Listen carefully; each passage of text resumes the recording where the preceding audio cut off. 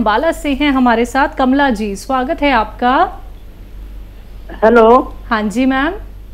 नमस्ते जी। नमस्कार मैम। बोलिए। मेरे ना कान में से पानी आता है। कब से दिक्कत है ये? काफ़ी टाइम से है जी। ठीक है।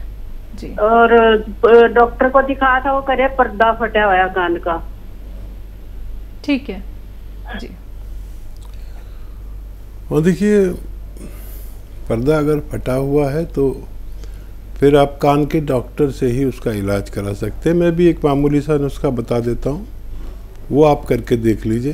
पता भी चल जाए कि पर्दा फटा हुआ है कि नहीं। लहसुन तो आप जानती हैं। लहसुन की जो कलियाँ हैं, वो बग, छीलिए मत, उन्हें तोड़िए। और पाँच लहसुन की कलियाँ घी में तल दीजिए। घी में भून दीजिए। थोड़ा सा भूनना, ज़्यादा मत भूनना। और फिर उसको भूनने के बाद उसे छीलिए और पाँच पीस उसके खा लीजिए। रोज़ाना एक बार या दो बार।